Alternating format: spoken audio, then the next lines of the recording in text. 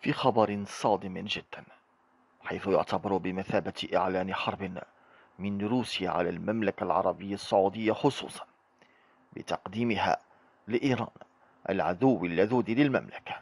وليس فقط ذلك بل الدولة المارقة والخارجة عن النظام الدولي وصاحبة أكبر مجموعة إرهابية وميليشية تزعزع بها استقرار مجموعة من الدول العربية. روسيا بإهدائها لإيران. خمسين مقاتلة من طراز سو خمسة وثلاثين فلانكر. كأنها تعلن الحرب غير المباشرة على المملكة العربية السعودية.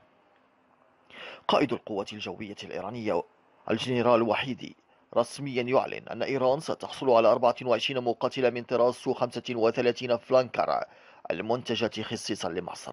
إذا هي صفقة مقايضة كبرى بين إيران وروسيا. مبلغ عشرة مليارات دولار وطائرة حربية إيرانية بدون طيار مقابل خمسين طائرة صحب خمسة وثلاثين والإس 400 صفقة تبادلية ستجعل المملكة العربية السعودية تتحرك.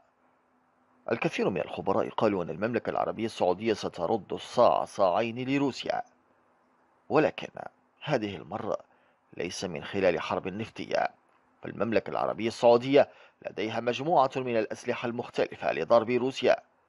في السابق ضربت المملكة العربية السعودية روسيا بالنفط في حرب النفط المعروفة بينهما حين خرجت روسيا عن اتفاق أوبك بلس وزادت من إنتاجها. لترفع المملكة العربية السعودية إنتاجها إلى حد أقصى رغم أن السوق كانت مشبعة أصلا مما أدى إلى انخفاض كبير في أسعار النفط. فضربت روسيا في مقتل. لكن هذه المرة الأمر يختلف تماما. المملكة العربية السعودية في مستوى أقصى لإنتاج النفط وبالتالي سيكون هناك انتقام من نوع آخر. قالت المصادر أنه تم إرسال أكثر من 30 طيارا إيرانيا إلى روسيا العام الماضي فقط لبدء التدريب على قيادة مقاتلة سو 35 وفقا للمصادر الإيرانية فإن هدف إيران هو الحصول على أكثر من 60 طائرة سو 35 قال معلق غاضبا إذا صح هذا الخبر فالروس قد استفادوا من السعودية أكثر مما استفادته السعودية من الروس. وقفنا معهم أمام الابتزاز الغربي لعيونهم وبعد ذلك يرد الجميل ببيع السلاح لطهران. كيف هذا معقول؟ لكن معلقين آخرين سخروا من هذه الصفقة أصلا. قال معلق سو 35 هي مجرد خردة مقابل نظيرتها السعودية. سيضيفها الإيرانيون إلى مجموعة الخردوات البالية من عهد السبعينات والثمانينات الغير المطورة مثل الإف 14 والميراج والميك 29 وقال معلق آخر بالنسبة لي كسعودي يقول إيران في مجال التسليح تحتاج إلى الكثير والكثير حتى تكون ندا لنا. كما أن طائرتها هذه السو 35 ستكون طعما سهلا بالنسبة للطائرة السعودية المتقدمة. وقال معلق آخر أصلا روسيا ليست حليفا وثيقا لنا ففي كل قضايا المنطقة تجد مواقفنا متضاربة مع مواقفها.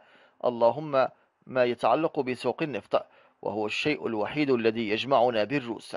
فيما قال آخر هي مقاتلة متخلفة. لعل الضغط الأمريكي كان من صالح مصر هذه المرة أن تتخلى عن هذه الطائرات فتبيعها روسيا لإيران.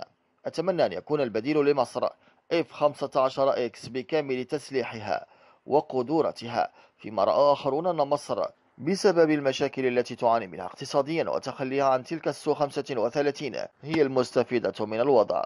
وقالوا إن مصر كقوة وجيش عربي متقدم تستحق أكثر من السو 35 فيما أثنى الكثير من السعوديين بالحمد والشكر لله تعالى لأن هذه الصفقة لم تتم حيث قال أحدهم الحمد لله أنها لم تتم هذه الصفقة لأنها ليست أفضل خيار لمصر هناك خيارات أفضل بكثير مثلا الجي 11 الصينية أفضل من السو 35 وأرخص ثمنا فيما طلب آخرون مصر بالمضي إلى الصفقات الأوروبية وطلبوها بعدم شراء الخردة الروسية.